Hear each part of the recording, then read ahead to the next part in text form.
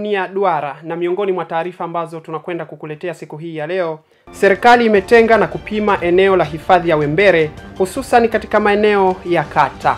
Wakala wa usalama na afya mahala pa kazi OSHA wametakiwa kuongeza jitihada katika kusimamia viwango vya usalama. Na katika michezo, bodi ya ligi kuu ya Vodacom Tanzania kupitia kwa katibu mtendaji wa bodi hiyo Boniface Wambura wametangaza mabadiliko ya ratiba.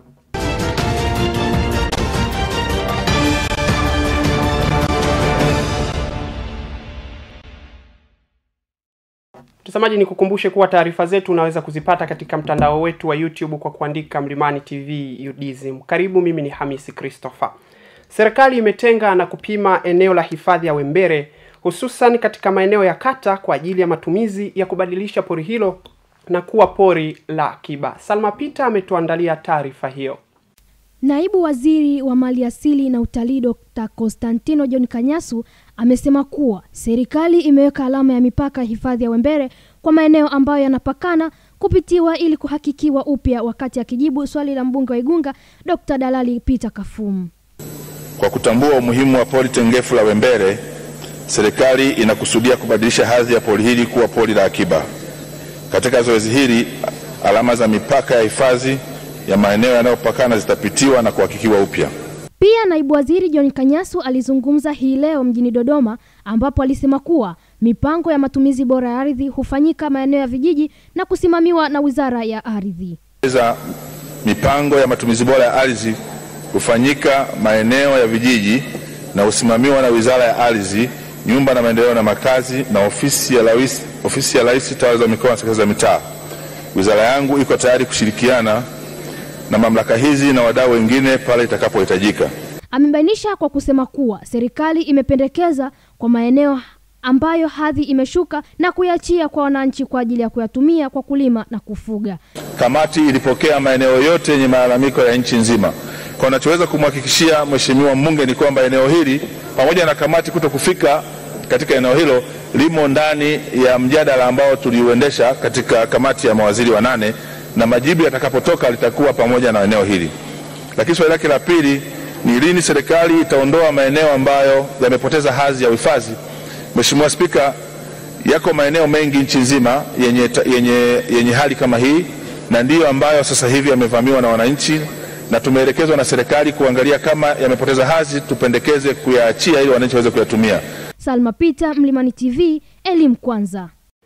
Na tukiachana na taarifa hiyo ya mwanahabari wetu Salma Peter, moja kwa moja tunaingia katika taarifa nyingine. Wakala wa usalama na afya mahala pa kazi OSHA wametakiwa kuongeza jitihada katika kusimamia viwango vya usalama na afya sehemu za kazi ili utekelezwaji wa sera ya serikali ya uchumi wa viwanda kuwa na tija zaidi. Twende tukaitazame taarifa hiyo. Wito umetolewa kwa wakala wa usalama na afya mahali pa kazi yani OSHA kuongeza jitihada katika kusimamia viwango vya usalama na afya katika sehemu za kazi ili kuwezesha utekelezaji wa sera ya serikali ya uchumi wa viwanda kuwa na tija zaidi. Wito huo umetolewa na jukwaa la wahariri TEF wakati wa kikao kazi baina yao na management ya OSHA kilichofanyika katika jiji la Dar es Salaam. Akizungumza katika kikao kazi hicho, katibu wa TEF nevel Mena amesema OSHA ina nafasi kubwa katika kulinda afya za wafanyakazi katika sekta za umma, sekta binafsi pamoja na sekta isiyo rasmi. Hivyo ni muhimu kwa taasisi hiyo kuhakikisha kwamba jamii ina uelewa wa kutosha kuhusu afya na usalama wao wawapo kazini. Imaanishi kwamba kila kitu tumeweza kukifahamu leo, hapana, ila kwa muda huu tumeweza kujua OSHA wanafanya nini na wana uhusiano gani na maisha ya Watanzania. Naye kaimu mtendaji mkuu wa OSHA Bi Hadija Mwenda amesema lengo la kikao hicho ilikuwa ni kubadilishana uzoefu na kuwafahamisha wahariri kuhusu namna ambayo OSHA inatekeleza majukumu yake ili kufanikisha suala zima la kuelimisha umma kuhusu masuala ya usalama na afya katika sehemu za kazi, hususan kuelekea uchumi wa viwanda. Lengo kubwa ilikuwa ni kubadilishana uzoefu, lakini kuelimishana kuhusiana na masuala mbalimbali ambayo OSHA imekuwa ikitekeleza kwa mujibu wa sheria namba tano ya mwaka 2003 ya usalama na afya mahala pa kazi. Changamoto kubwa ambayo tumekutana nayo ni uelewa mdogo miongoni mwa wadau wetu. Baadhi ya wahalili walioshiriki kikao hicho walikuwa na maoni yafuatayo.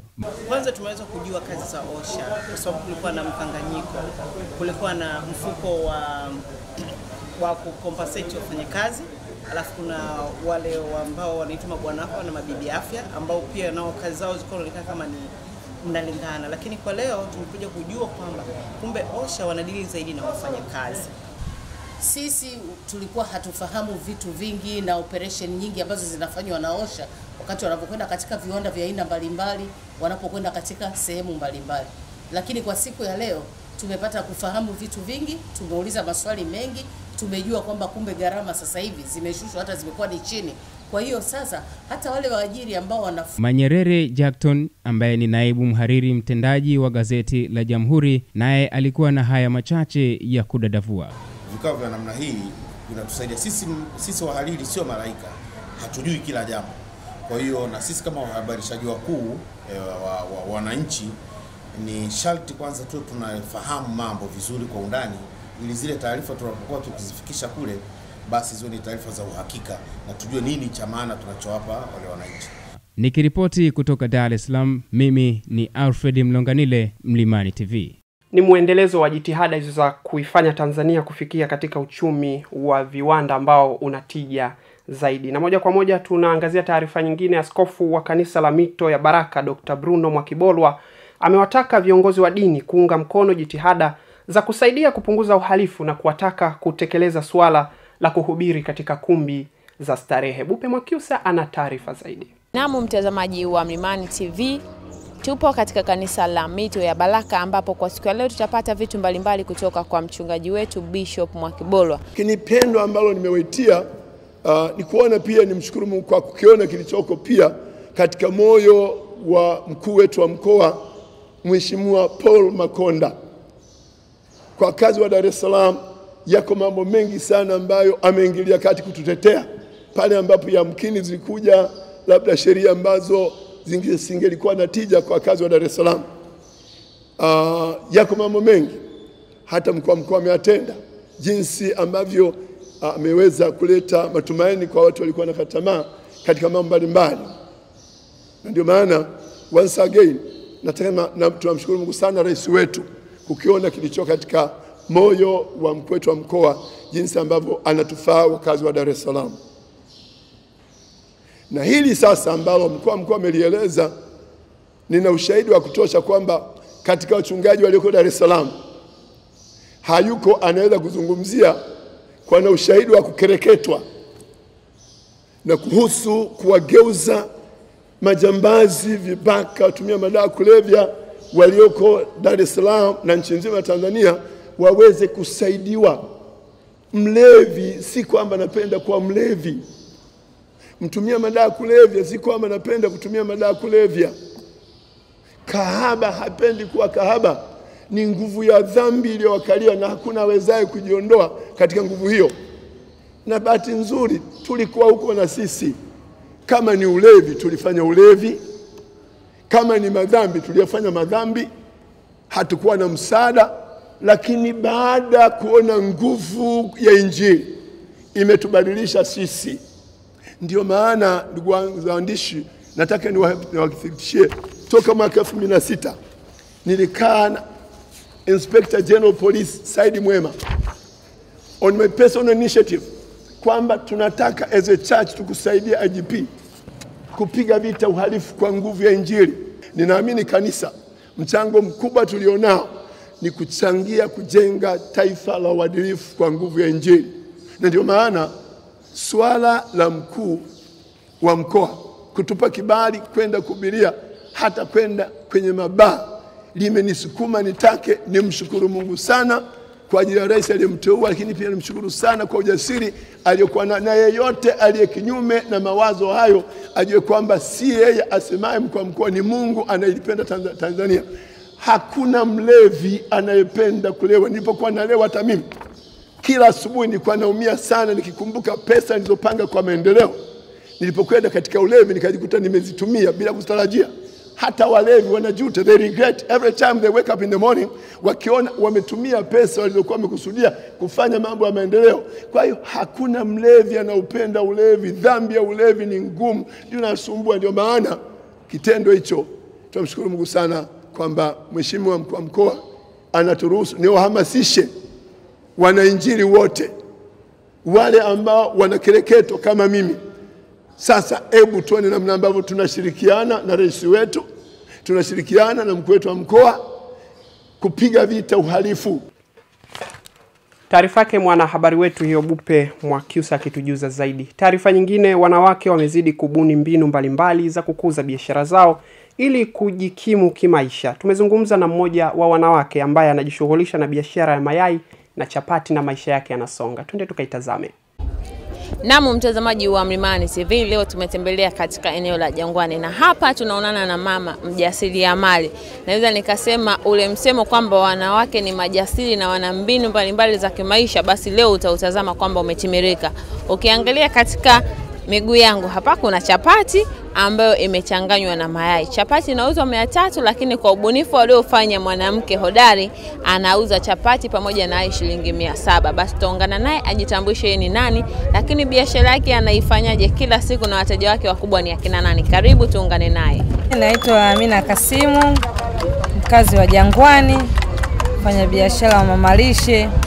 Nimeanza muda mrefu hapa, ni kwetu, biashara nafanya Nashukuru Mungu, wateja wangu wengi ni watu wa magereji eh. Labda hii biashara kiutaratibu wa kila siku, naamka saa ngapi na huwa unafanya nini? Taratibu ya biashara yangu, naamka saa kumi na moja natoka kwangu nakuja mjini. Kifika hapa naandaa biashara zangu nachoma chapati, nauza mayai, nauza supu eh. Labda biashara kama hivi, umekaanga chapati na yai inakuwa bei gani? Inategemea, mayai mawili mia nane, chapati mia tatu. E.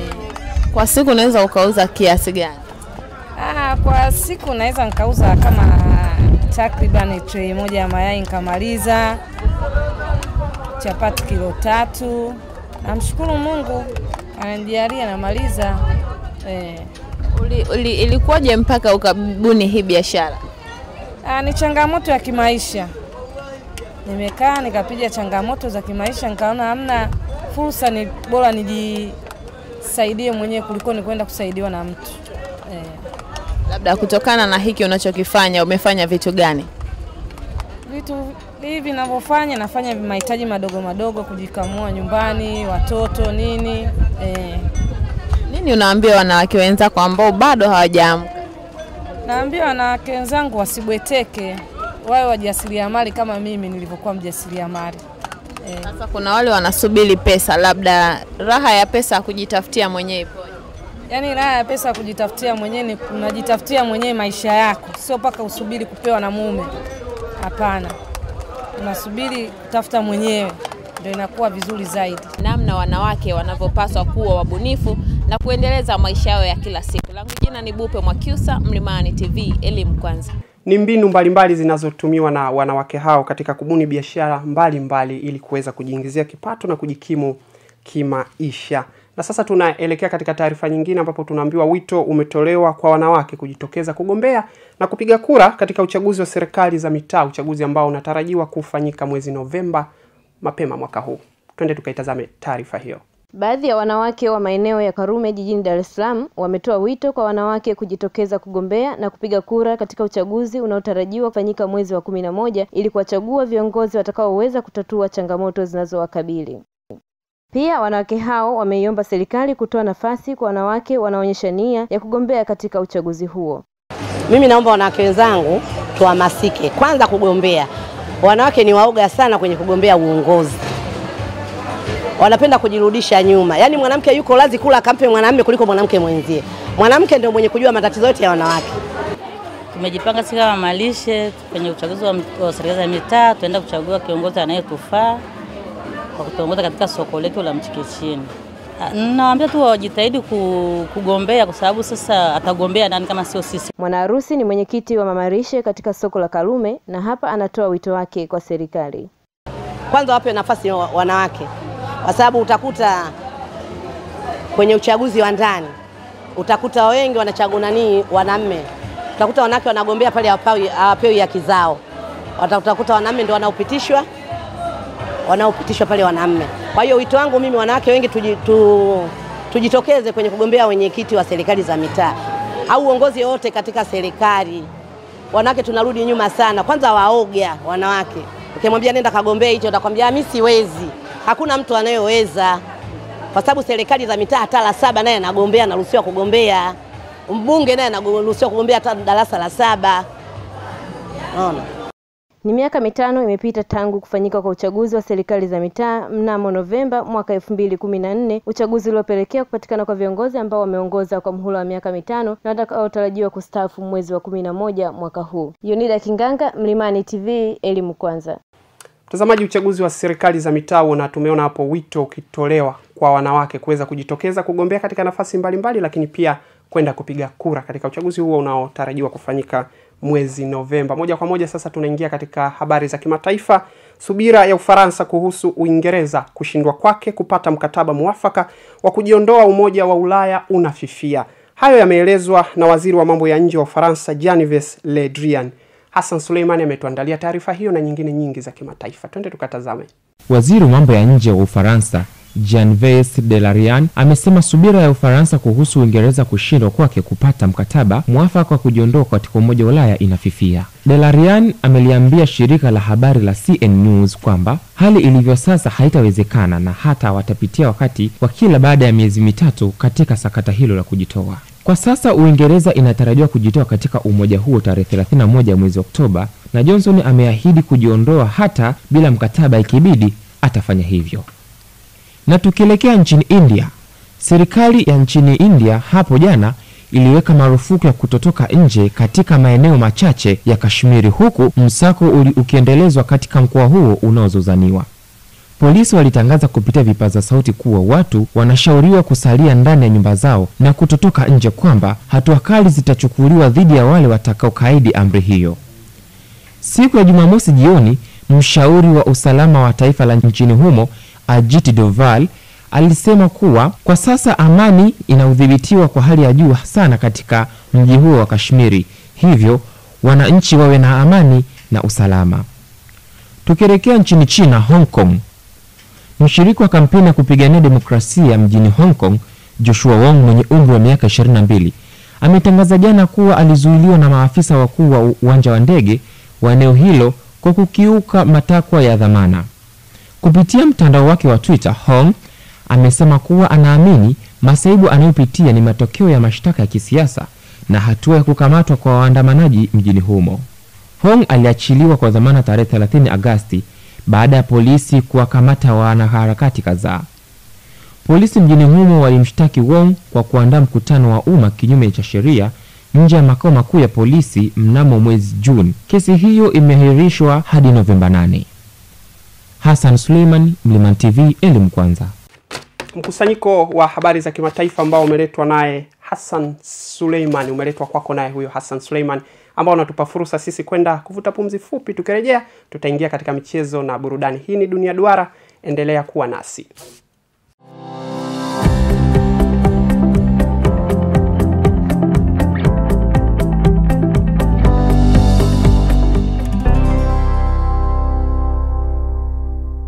Kwa mijadala ya siasa inayomulika na kutoa mwanga wa mahala taifa la Tanzania, Afrika na dunia nzima linapoelekea.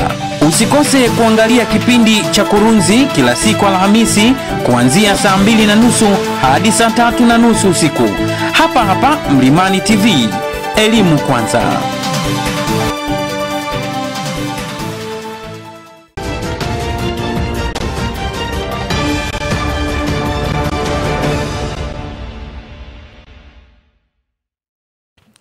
Asante mtazamaji kwa kuendelea kubaki nasi katika dunia duara ya hapa Mlimani TV. Tumerejea na sasa ni habari za michezo na burudani. Bodi ya ligi kuu ya Vodacom Tanzania kupitia kwa katibu mtendaji wa bodi hiyo Boniface Wambura wametangaza mabadiliko ya ratiba kwa baadhi ya michezo. Akley Mkumbata, mwanaspoti wetu huyu, anakuja na undani wa taarifa hiyo. Hatimaye bodi ya ligi kuu ya Vodacom Tanzania bara kupitia katibu mtendaji wa bodi hiyo Boniface Wambura Mgoyo amesema kuwa kutokana na ratiba ya ligi kuu kutolewa mapema kabla ya shirikisho la soka Afrika kafu kutoa ratiba imesababisha pia kuwepo na mabadiliko ya baadhi ya michezo. Wakati tunatoa ratiba yetu sisi, kafu walikuwa hawajatoa kalenda yao ya mashindano ya CHAN. Tusikilizane vizuri hapa, mashindano yao ya CHAN ya timu za taifa za wachezaji wa ndani. Tunajua kafu nao wana changamoto kwa sababu ndio mwaka wa kwanza wamefanya mabadiliko ya kalenda yao ya mashindano. Tunajua vitu kama hivyo vina vinajitokeza. Kwa hiyo e, tumekuja kujikuta kwamba e, fixture za chani zilivyotoka, bahati nzuri ya mechi yetu ya kwanza na Kenya ilikuwa e, ligi ndo hatujaanza, tunakwenda kuanza, kwa hiyo hakukuwa na athari yoyote. Tumekuja sasa timu uh, imeenda kuko- imequalify imeenda kucheza next round ambapo itacheza na Sudan. Kwa hiyo tumeona kabisa imeingia sasa kwenye ratiba yetu. Kwa hiyo tukasema badala ya kusubiri eh, ni vizuri tukarekebisha hiyo ratiba mapema na wadau wakaiona. Sababu ya pili ambayo imetufanya tufanye marekebisho ni kwamba ratiba yetu vile vile ilikonsida ushiriki wa timu za Simba na KMC kwenye Continental Club Champions kwa maana ya mashindano ya CAF. Kwa hiyo hawa bahati mbaya baada ya kutoka kwenye mashindano, kwa hiyo tunawarudisha kwenye ratiba ya kawaida.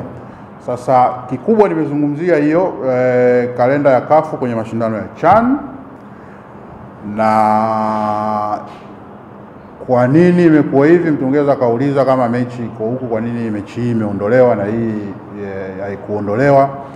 e, sisi waendeshaji tumezungumza na TFF, tumewaomba kwamba zile mechi ambazo timu zao hazina wachezaji kwenye national team zitaendelea. Zile timu ambazo zina wachezaji wako kwenye national team ndizo mechi zao tutazibadilisha au tutaziondoa kwenye ratiba mpaka tutakapozipa tarehe nyingine. Na technical bench ya timu ya taifa imetaka timu ingie kambini mapema tarehe kumi na sita.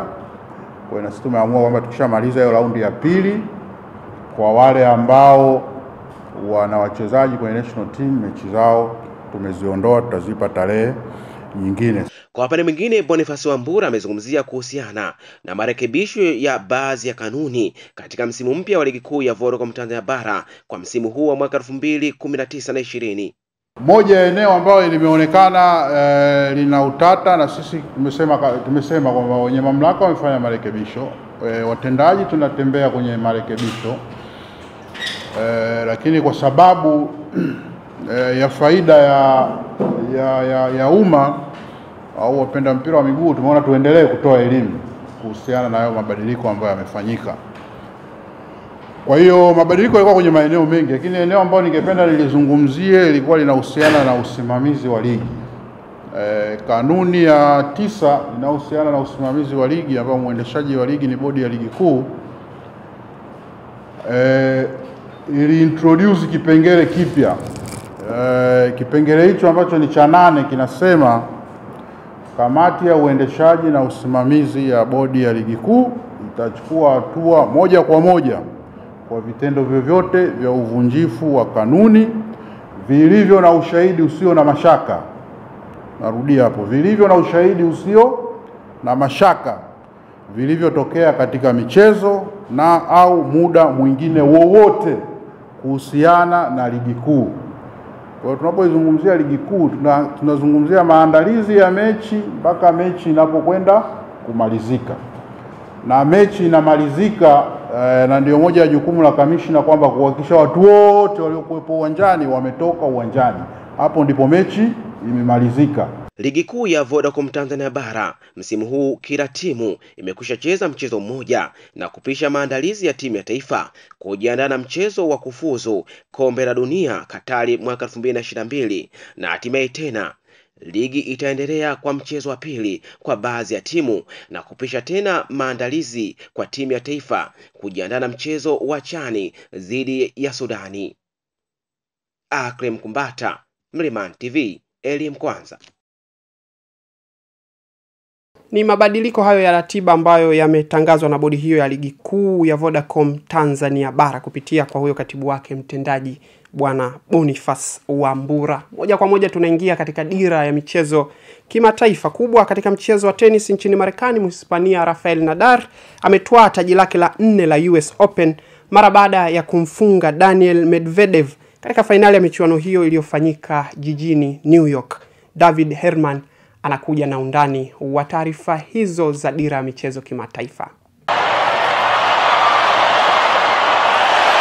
Katika dira ya michezo kimataifa tunaanza na mchezo wa tenis huko nchini Marekani, ambapo Mhispania Rafael Nadal ametoa taji lake la nne la US Open mara baada ya kumfunga Daniil Medvedev katika fainali ya michuano hiyo. Rafael Nadal amemfunga mrusi huyo kwa seti saba kwa tano, sita kwa tatu tano kwa saba nne kwa sita na sita kwa nne. Na imempelekea kuwa na mataji kumi na tisa ya Grand Slam, lakini Nadal alisimamisha kasi yake ili kupata ushindi wa kufurahisha katika masaa manne na dakika hamsini, dakika nne fupi kuliko fainali ndefu zaidi ya US Open. Ushindi huo aliopata Nadal umemfanya kushika nafasi ya pili nyuma ya Mswizi Roger Federer ambaye anaongozwa kwa kuwa na mataji mengi ya Grand Slam kwa upande wa wanaume. Na uko kwingineko, klabu ya Barcelona ipo mbioni kumpa mkataba mpya mshambuliaji wake Lionel Messi ambao utambakisha na huyo wa timu ya taifa ya Argentina kwa miaka iliyosalia ya maisha yake ya soka. Wakati huo pia klabu ya Chelsea inaweza kulazimika kumpa mkataba wa muda mrefu beki wake wa kushoto Brazil Emerson Palmieri mwenye umri wa miaka 25 kusudi aendelee kuhudumu katika miamba hiyo ya jiji la London. Chelsea imeamua kuchukua hatua hiyo mara baada ya Brazili huyo kuaniwa kwa hudi na uvumba kutoka Juventus ya nchini Italia. Na tukimaliza na klabu ya Manchester United ambapo beki wa kulia wa timu hiyo Diego Dalot, raia Ureno, yupo katika klabu ya Shanghai SIPG kwa ajili ya kutibiwa majeraha yake ya kiuno.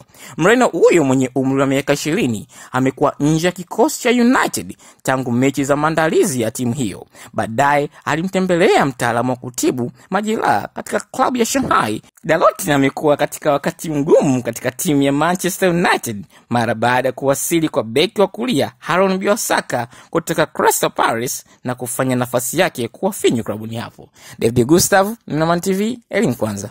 Mkusanyiko wa dira ya michezo kimataifa kutoka kwake David Herman ambaye ametujuza zaidi katika mkusanyiko huo ambao ameweza kutuangazia katika siku hii ya leo. Na kwa sasa tuungane na mamlaka ya utabiri wa hali ya hewa kwa ajili ya utabiri wa saa 24 zijazo. Habari mpenzi mtazamaji, ufuatao ni utabiri wa hali ya hewa wa saa 24 zijazo kuanzia saa tatu usiku wa leo. Unaitwa kwenu na mimi Akili Mwangaza. Tuanze utabiri wetu kuangalia mifumo ya upepo katika maeneo ya pwani. Pepo inatarajiwa kuvuma kwa kasi ya kilomita 40 kwa saa kutoka kusini mashariki kwa pwani yote. Mamlaka ya hewa inatoa angalizo la vipindi vya upepo mkali na mawimbi makubwa katika maeneo hayo. Watumiaji bahari wanatakiwa kuendelea kuchukua hatua stahiki. Hali ya baridi katika nchi yetu inaendelea kupungua katika maeneo mengi ya nchi yetu isipokuwa maeneo ya nyanda za juu kusini magharibi, na kiwango cha chini cha joto ni nyuzi joto saba katika mkoa wa Njombe.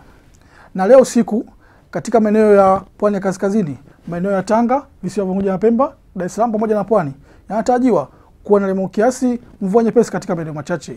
Matarajio yetu yaliyoewa hewa kwa hapo kesho katika maeneo ya Kagera pamoja na Geita yanatarajiwa kuwa na lemo kiasi mvua na ngurumo za radi katika maeneo machache na vipindi vya jua. Katika mkoa wa Mara yanatarajiwa kuwa na lemo kiasi ngurumo za radi katika maeneo machache na vipindi vya jua. Katika mkoa wa Arusha, Kilimanjaro, Manyara pamoja na Dar es Salaam na Pwani yanatarajiwa kuwa na kiasi mvua nyepesi katika maeneo machache na vipindi vya jua. Katika maeneo ya Tanga, visiwa vya Unguja na Pemba yanatarajiwa kuwa na kiasi mvua katika maeneo machache na vipindi vya jua. Maeneo ya nchi yaliyosalia yanatarajiwa kuwa na kiasi na vipindi virefu vya jua. Kutoka mamlaka ya hali ya hewa, hatuna la ziada, tunatakia usiku mwema. Kwa utabiri huo wa hali ya hewa kwa saa 24 zijazo, ndio unatufanya sisi tuweke nukta katika Dunia Duara katika siku hii ya leo. Langu jina ni Hamisi Christopher. Nimshukuru kila mmoja ambaye amefanya Dunia Duara kukufikia hapo ulipo. Mpaka wakati mwingine, kwa heri.